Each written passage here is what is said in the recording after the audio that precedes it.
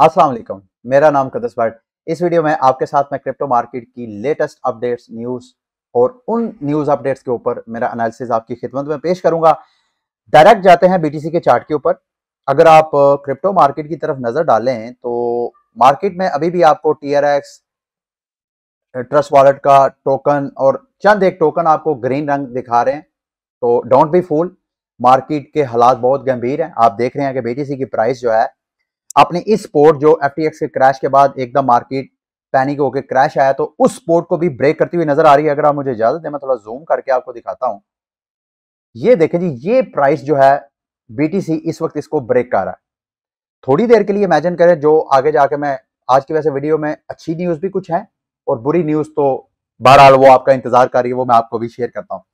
तो कल बीटीसी की प्राइस ने एकदम क्रैश किया। क्रैश क्यों किया? वो आगे मैं थोड़ी देर में आपके साथ न्यूज़ शेयर करता हूँ। इस स्पोर्ट को ब्रेक किया। स्पोर्ट को ब्रेक करके फिर ऊपर क्लोज हुई। आपको अगर याद नहीं है, जो रेड कैंडल होती है, उसकी क्लोजिंग जो है, वो ओपनिंग ऊपर से होती है क्लोजिंग नीचे होती है। जो ग्रीन होती है, उसकी ओपनिंग नीचे से होती है क्लोजिंग ऊपर होती है। तो इसकी क्लोजिंग जो है, इस कैंडल की, कल वाली कैंडल की, ये ऊपर हुई। और आज की कैंडल जब मैं वीडियो रिकॉर्ड कर रहा हूँ, इस स्पोर्ट को दोबारा ब्रेक करती हुई नज़र आ रही है। तो अगर तो बीटीसी की प्राइस इस स्पोर्ट को होल्ड नहीं करती है और ये वाली जो करंट कैंडल है डेली की ये इस स्पोर्ट के नीचे ब्रेक होती है। तो मेरे दोस्तों भाइयों वेलकम टू अनदर पार्टी सस्ती पार्टी डिस्काउंट पार्टी बीटीसी की प्राइस आपको फिर अगर ये 15,660 की स्पोर्ट को होल्ड नहीं कर पाती है तो बीटीसी की प्राइस आपको नीचे पहली स्पोर्ट उसको जो नेक्स्ट फ्री फॉल होगा यहाँ से मुझे नहीं लगता रास्ते में कहीं कोई इसको स्पोर्ट वगैरह नज़र आएगी। अगली बीटीसी की प्राइस की जो स्पोर्ट है, वो बारह हज़ार, कुछ सात सौ की रेंज में आप सेट कर सकते हैं। कुछ ट्रेडर जो थोड़े से, जिनको टेक्निकल एनालिसिस चार्टिंग वगैरह आती हैं, वो इस तरह की अपॉर्चुनिटी से फ़ायदा उठाते हैं। अब उन्होंने देखा, यार, ये वाली बीटीसी की स्ट्रॉन्ग स्पोर्ट तो ब्रेक हो गई है। अब नीचे वाली स्पोर्ट देखते हैं, वो समझते हैं कि इस स्पोर्ट पे आके बीटीसी की प्राइस दोबारा लाजमी एक बार बाउंस करेगी। मुमकिन है इस जैसे कल की कैंडल ने इस स्पोर्ट को ब्रेक किया और नीचे आपको एक शेडो बनाया, इस कैंडल ने। मुमकिन है इस जगह भी आपको एक शेडो कैंडल बनाती हुई नज़र आए, लेकिन एक बार बाउंस लाजमी होगी। यहाँ पे वो क्या करेंगे, अपना लिमिट ऑर्डर लगाएँगे बाय का लेवरेज लेके five time ten time twenty time कुछ हज़रत तो पचास टाइम भी लेवरेज लेके लगाते हैं रिस्क लेना है ना। तो वह यहाँ पे फॉर एग्ज़ाम्पल अगर बारह हज़ार सात सौ की प्राइस पे उनका बाय ऑर्डर है तो उनको पता है यहाँ से प्राइस बाउंस कर सकती है। तो वहाँ से बाय ऑर्डर लगाएँगे बारह हज़ार सात सौ का टेक प्रॉफिट और स्टॉप लॉस वो risk reward risk reward ratio से फॉर एग्जांपल अगर वो स्टॉप लॉस दो परसेंट इसके नीचे लगाते हैं तो प्रॉफिट वो अपना पाँच परसेंट, छह परसेंट लगा सकते हैं, चार परसेंट भी लगा सकते हैं। इट ऑल डिपेंड कि आप किस रिस्क रिवार्ड रेशियो से ट्रेडिंग कर रहे हैं। सेम इसी तरह का सूरत हाल मुझे इथीरियम पे नज़र आ रही है। इथीरियम ने बहरहाल अपनी ये जो स्पोर्ट थी, उसको अभी तक होल्ड किया हुआ है, जब मैं वीडियो रिकॉर्ड कर रहा हूँ। तो अगर इथीरियम भी इस स्पोर्ट को ब्रेक कर देता है तो लास्ट टाइम जब लूना क्रैश हुआ था तो इथेरियम की प्राइस जो है वो यहाँ तक उसने अपना स्पोर्ट बनाया था आठ हज़ार सॉरी आठ सौ चौरासी डॉलर तो अगर ये वाली प्राइस होल्ड नहीं कर पाती है, जो जो स्पोर्ट है, ये ब्रेक हो जाती है तो फिर अगला जो स्टॉप है इथेरियम का वो मुझे 900 डॉलर और आठ सतासी डॉलर 880 डॉलर की रेंज में नज़र आ रहा है. अगर आप इंतज़ार कर रहे हैं तो मेरा ख्याल है इट्स अ बेस्ट टाइम मजीद इंतज़ार करें। उसकी वजह है, कुछ न्यूज़ है वो मैं आपके साथ शेयर करता हूँ। कल की वीडियो में भी और परसों की वीडियो में भी मैंने बताया था आपको कि जेनेसिस ने इस हफ़्ते वो जो वन बिलियन डॉलर की लाइबिलिटी है या उनका, उनकी कश्ती में जो छेद है, उसको फिल करने के लिए उनको एक अरब डॉलर चाहिए। उसके लिए वो पर तोड़ लें। अपनी उनको, जो अपनी फॉर्म है डिजिटल करेंसी ग्रुप DCG उनको भी अप्रोच किया। मुझे लग रहा है वहाँ से उनको कोई सपोर्ट नहीं मिली। इस दौरान वो बाइनांस के साथ भी और अपालो के लिए भी अपालो के साथ भी कांटेक्ट कर रहे हैं कि उनको वो ये वन बिलियन का जो उनका मसला बना हुआ है, वो वन बिलियन का मसला रिजॉल्व हो जाए। लेटेस्ट अपडेट ये है कि बाइनास ने तो रिफ्यूज कर दिया। आई डोंट नो बाइनास ऐसा क्यों कल कल की वीडियो में मैंने आपको बताया कि सीजी साहब कह रहे हैं जी कि इस मुश्किल सूरत हाल में हम क्रिप्टो फॉर्म्स को सपोर्ट करना चाहते हैं, किसी को फाइनेंशियल सपोर्ट चाहिए तो वो हमारे से कांटेक्ट करें। हमारी टीम उनका ड्यू डेलीजेंस करेगी और उनको जितनी सपोर्ट बनती हुई वो सपोर्ट करेगी। ये कोई खैराती सपोर्ट नहीं है, मैं ये आपको बताना चाहता हूँ।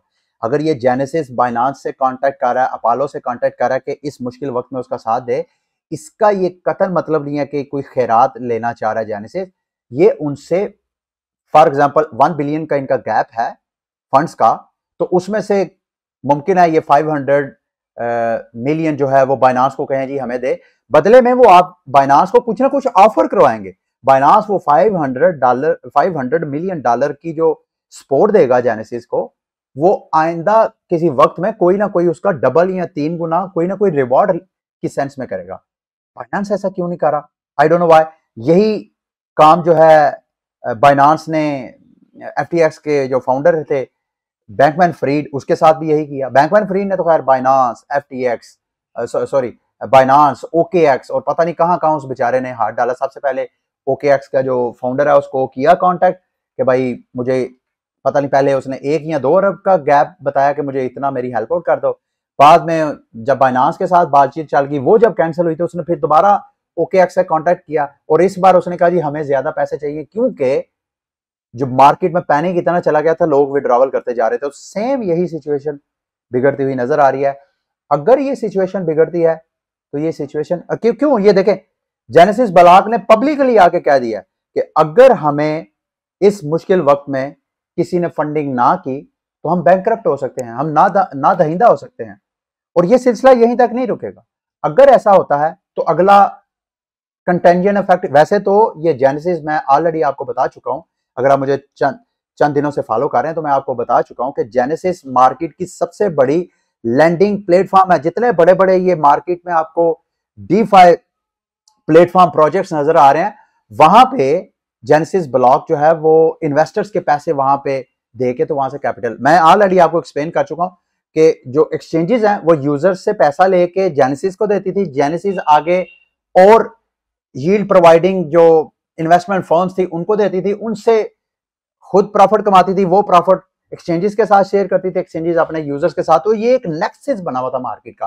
तो जेनेसिस कहा जाता है कि मार्केट की सबसे बड़ी लैंडिंग प्लेटफॉर्म है, और अगर ये क्रैश होती है तो अगला टारगेट ग्रे स्केल और ग्रे स्केल के बारे में ऑलरेडी आपको बता चुका हूँ कि तकरीबन, ये मुझे अगर आप इजाज़त दें, अब वो कोइन बेस के हवाले से भी जो मैं कल की, कल के वीडियो में आपको बताया कि इन्होंने अपने प्रूफ ऑफ़ रिज़र्व बताए तो हैं लेकिन इन्होंने अपने वॉलेट शेयर नहीं किए।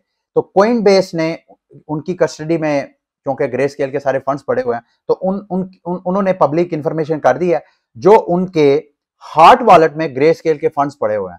वो उन्होंने पब्लिकली अनाउंस कर दिया है। ग्रे स्केल के पास इस वक्त तकरीबन 10 अरब डॉलर का बिटकॉइन पड़ा हुआ ग्रे स्केल के पास इस वक्त तकरीबन 3.4 बिलियन का इथेरियम पड़ा हुआ है। ग्रे स्केल के पास जी कैश पड़ा हुआ है।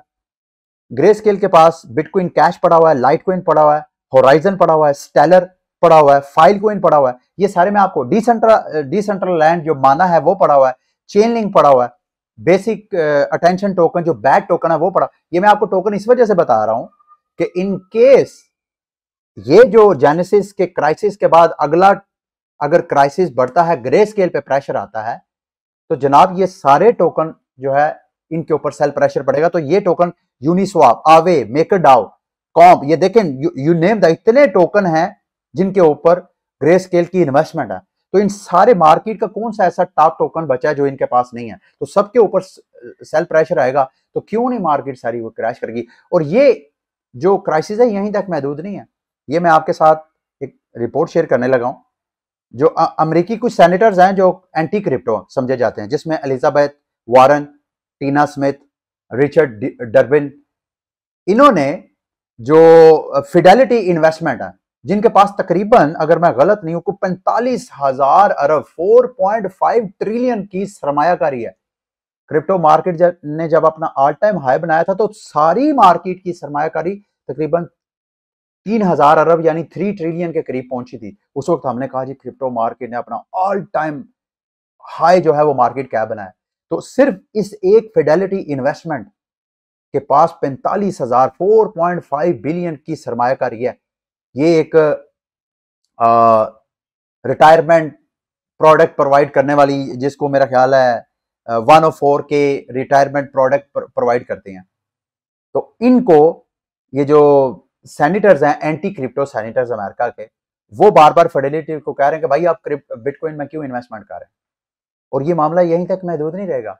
आने वाले वक्तों में गॉड फॉर बेड और दुआ करेंगे मैं गलत हूँ।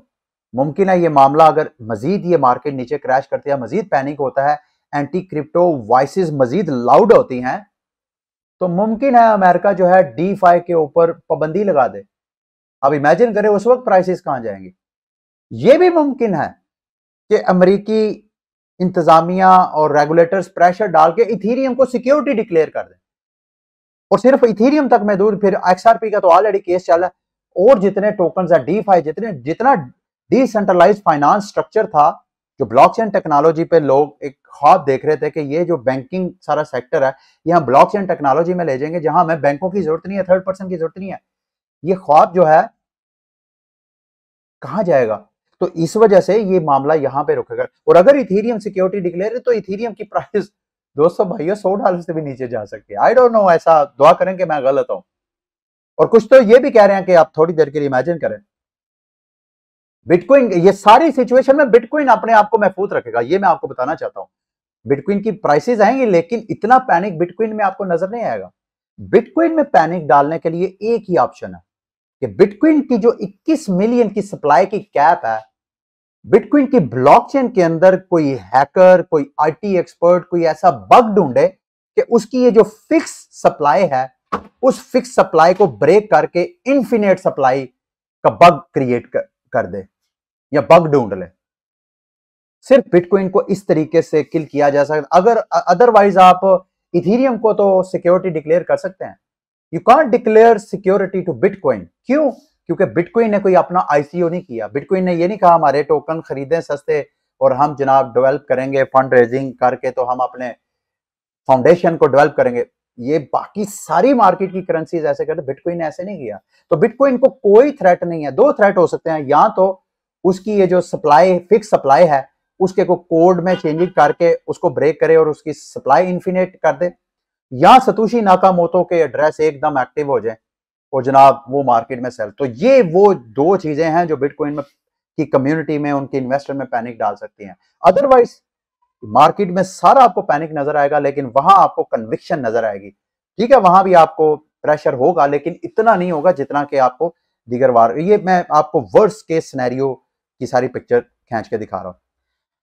आप थोड़ी गुड न्यूज़ शेयर करने से पहले ये मैं आपके साथ एक शेयर करना चाहता हूँ। बैंकमैन फ्रीड की हैकर्स ने क्या किया? उसकी तस्वीर ली और आजकल मार्केट में एआई आर्टिफिशियल इंटेलिजेंस सॉफ्टवेयर है जिसमें आप एक पिक्चर को लेते हैं पीछे वॉइस लगाते हैं जिस तरह वॉइस होती है पिक्चर उसी तरह मूव होती है। अब पता है मुझे कॉपीराइट क्लेम ना आ जाए। स्कैमर ने क्या किया? Hello everyone As you know, our FDEX exchange is going bankrupt. But I hasten to inform all users that you should not panic. As hacker ने क्या किया? बैंकमैन फ्रेड की एक पिक्चर ली आर्टिफिशियल इंटेलिजेंस से पीछे बैंकमैन फ्रीड की voice emulator यानी एक ऐसा सॉफ्टवेयर जो किसी भी वॉइस को किसी भी शख्सियत के साथ उस तरह बना सकता है वॉइस इम्यूलेटर के साथ उसने एक वीडियो बनाई, एक नहीं बल्कि एक सीरीज़ वीडियो की बनाई और नीचे कह दिया कि भाई FTX क्रैश हो रहा है, अगर जिस बंदे को कंपनसेशन चाहिए तो ये वेबसाइट पे जाके वो अपने टोकन क्लेम कर ले। लोग धड़ाधड़ जो बेचारे मासूम लोग थे, उस वेबसाइट पे गए, ये जो आपको स्क्रीन पे नज़र आ रही है। वहाँ पे जाके जिस जिस बंदे ने अपना टोकन अपना वॉलेट कनेक्ट किया, उसका वॉलेट जो है वो हैक हो गया। तो आप ये फिशिंग के मामले में हमेशा जब अपने पर्सनल वॉलेट को यूज़ करें तो अपने पर्सनल वॉलेट को किसी के साथ कनेक्ट करने से पहले अच्छी तरह सोच लें, कहीं आपके साथ स्कैम या फ्रॉड ना हो रहा हो जी। अच्छा जी, आज की बिग बड़ी न्यूज़ जो मैं आपके साथ शेयर करना चाहता हूँ। जेपी मॉर्गन ने अपना वॉलेट उसका बाकायदा पेटेंट गवर्नमेंट से ले लिया अमेरिकी इंतजामिया से। जेपी मॉर्गन, फाइनेंशियल जाइंट दुनिया का, उसकी क्रिप्टो मार्केट में एंट्री, बाकायदा अपना वॉलेट क्रिएट करना, फिर और मजीद ऑफर्स करवाएगा वो ओबियसली वॉलेट्स में। तो ये मेरी नज़र में आज की एक बिग न्यूज़ है, जो आने वाले वक्त में आपको होप दे सकती है। अगली बिग बिग न्यूज़ में रॉकेट पूल के बारे में ऑलरेडी वैसे वीडियो मैंने बनाई हुई है, चंद माह पहले अगर आप लोगों को नहीं पता रॉकेट पूल एक लीडो फाइनेंस की तरह एक ऐसा प्लेटफॉर्म है, जहाँ पे आप अगर स्टेकिंग करते हैं टोकन्स की तो वो आपकी लिक्विड स्टेकिंग होती है। यानी मिसाल के तौर पर मेरे पास अगर दस इथीरियम है तो मेरे इथीरियम पड़े पड़े तो मुझे कोई बेनिफिट नहीं देंगे। अगर वही दस इथीरियम मैं राकेट पूल में स्टेक कर दूँगा, एक तो मुझे स्टेकिंग का रिवार्ड मिलेगा, बदले में मुझे उतने ही रॉकेट पूल के टोकन मिल जाएँगे जो कि आर इथीरियम हो गए। यानी मेरे टेन इथीरियम इनके स्मार्ट कॉन्ट्रैक्ट में चले जाएँगे और बदले में मुझे टेन आर इथीरियम मिल जाएगा। वो टेन आर इथेरियम के आगे कई यूज़ केसेस हैं। मैं उनकी अलग से स्टेकिंग कर सकता हूँ। उसकी एक अलग साइंस है। अच्छा इस हवाले से मेकर डाउ ने इनके साथ पार्टनरशिप की है। अब आप यहाँ पे इथीरियम या और जो रॉकेट पूल पे टोकन ऑफ़र करवाते हैं स्टेकिंग के लिए, वो आप यहाँ पे स्टेकिंग लगाएँ। जो इनके टोकन मिलेंगे, वो टोकन आप मेकर डाउ के प्लेटफॉर्म पे जाके वहाँ से डाई जो है उधार ले सकते हैं। मिसाल के तौर पे 10 इथेरियम मैंने स्टेक किए, उधर से मुझे रॉकेट पूल से अलग स्टेकिंग रिवार्ड आ रहा है।